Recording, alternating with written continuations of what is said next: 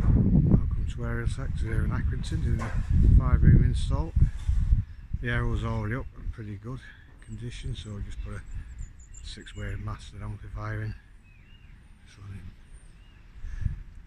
five cables around the house.